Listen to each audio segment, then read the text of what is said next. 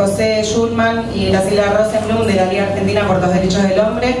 Nora Cortiñas de Madres de Plaza de Mayo, línea fundadora, Humberto Tumini de Libres del Sur, Jorge Altamira y Marcelo Ramán del PO, del Partido Obrero, el chino Heberly de MAS,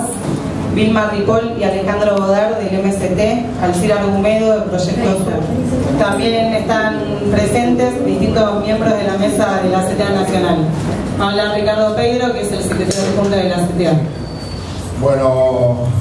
buenas tardes a todos y a todas. Eh, muchas gracias a los medios, a los compañeros periodistas que se encuentran presentes. Eh, y bueno, el tema surge, en realidad la marcha también era para pedir el veto, pero ya la ley está promulgada,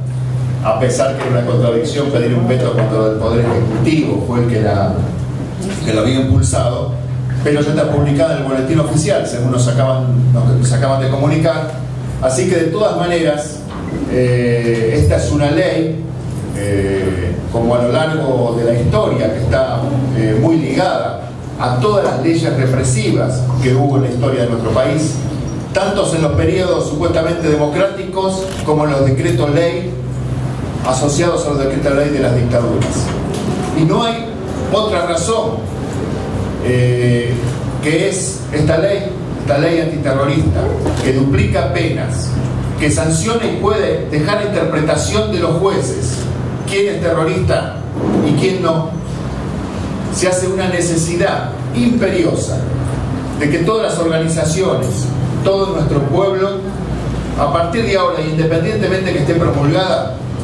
lanzar una lucha por esta ley, como otras leyes que hemos, a través de la lucha popular, hemos derogado, esta ley debe ser derogada. Anulada. Y anulada, anulada. Acá ahorita sopla. Eh, hay una cuestión que nosotros lo relacionamos directamente, no solamente por una presión de los organismos financieros internacionales, sino con un discurso que desde hace mucho tiempo, tanto desde esta central como diferentes eh, organismos y organizaciones populares, que va acompañada de demonizar a las herramientas que tiene nuestro pueblo y la protesta social inclusive en los últimos discursos desde la propia presidenta que trató la huelga o las herramientas de lucha de los trabajadores como extorsión, esta ley va directamente ligada a la práctica que este gobierno, pese a decir que no hay criminalización de la protesta, que no hay represión, en todo caso lo está desmintiendo la práctica cotidiana. Miles de procesados que vienen desde hace muchos años, nuevos procesados como son los compañeros eh, de CRAFT, de la línea Sarmiento, los docentes de Santa Cruz, los compañeros de Alta de Neuquén, los compañeros de, trabajadores del azúcar de Salta, etcétera, etcétera, que han sido, son los nuevos procesados eh, de este último periodo. Y fundamentalmente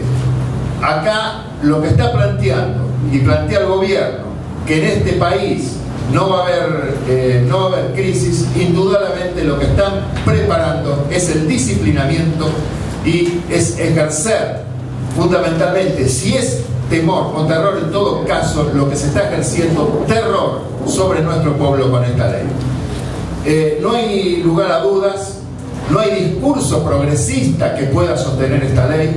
no hay ninguna excusa que pueda sostener esta ley, inclusive de, aquellos compañeros y compañeras que puedan tener expectativa eh, en este gobierno.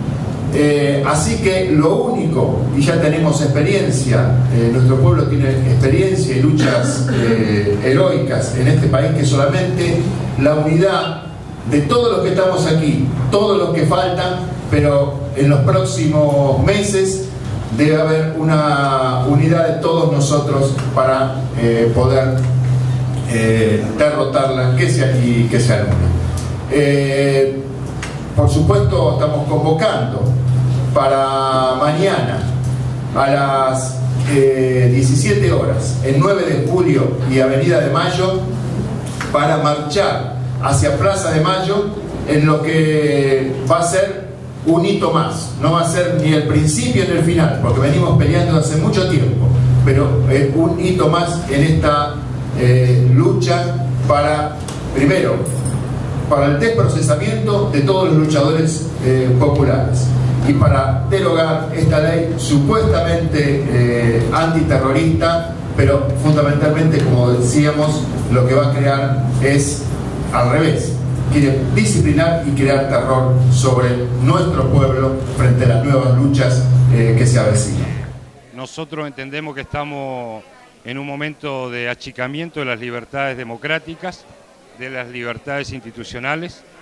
Nosotros creemos que hay que hilar finito y ver si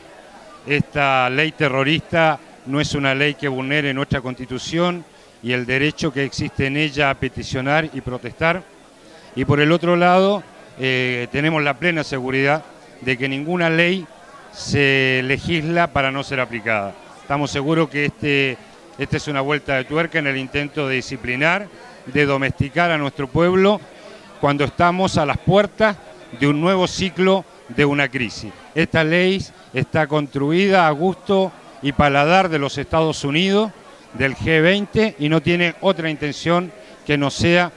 eh, intentar de que nuestro pueblo no se organice para resistir lo que se viene. Si yo tuviera que definir esta ley, diría que estamos frente a un acto de, eh, de violencia reaccionaria. Esto es violencia reaccionaria encarnada en el Poder Legislativo. Y así funciona este sistema. Legislan violencia, después los jueces ejecutan y el aparato represivo termina colocándole el moño. Frente a esto estamos. Frente a esto nosotros decimos, convocamos una marcha que no es punto de llegada, sino que es punto de partida de una pelea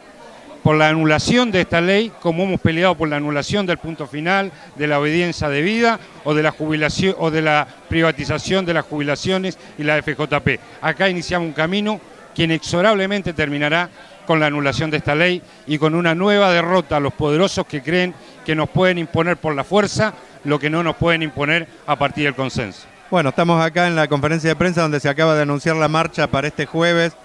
contra la ley de terror contra los que luchan, mal llamada antiterrorista, que ha sido promulgada en el día de ayer por la presidenta Cristina y que se va a inscribir dentro de las páginas negras de, nuestro país